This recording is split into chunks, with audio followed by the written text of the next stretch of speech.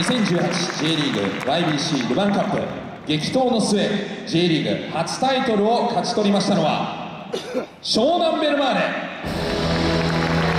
どうぞ皆様ご登場くだ10月27日に埼玉スタジアム2072で行われた J リーグ YBC ルヴァンカップ決勝。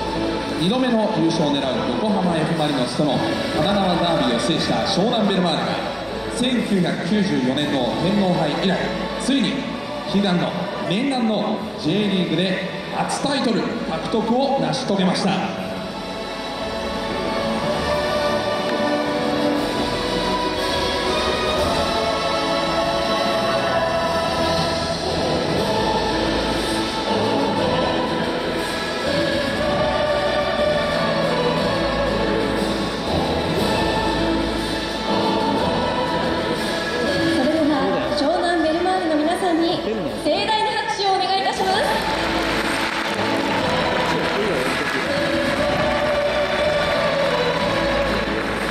選手監督にお話を伺いましょう。平原さんお願いします。はい。皆さんおめでとうございます。おめでとうございます。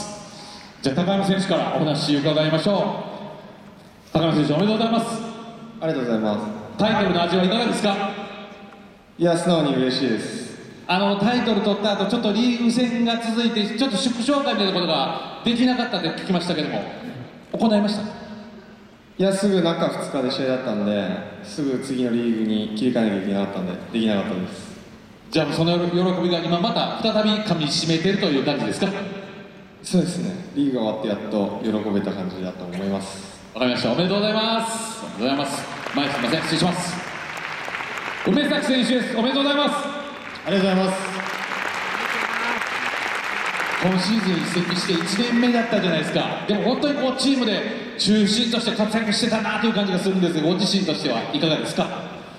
そうですね。若いチームで僕は割とこのチームでは経験がある方ですので、まあ、チームのために何ができるかっていうのを常に考えてプレーできたと思います。その中でもタイトルが取れたちょっとそのタイトル取る段階では涙もありましたけどそうですねチームメイトに何度も助けられましたいいタイトルになりました。ねそうですね。本当に嬉しいタイトルとなりました。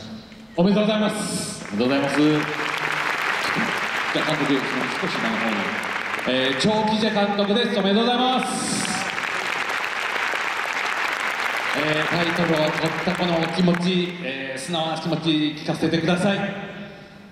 えっとまあ、こうやって選手全員で、えーこういった舞台に立てるのは、えー優勝したチームだけだと思いますので、まあ、非常に嬉しく思ってます。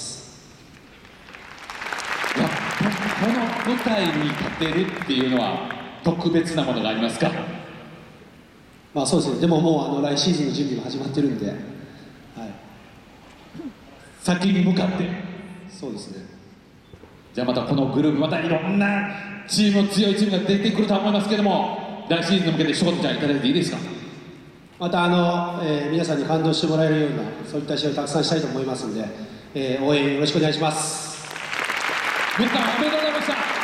ございますありがとうございました J リーグ YBC ルヴァンカップカップウィナー湘南ベルマーレに今一度大きな拍手をお願いいたします。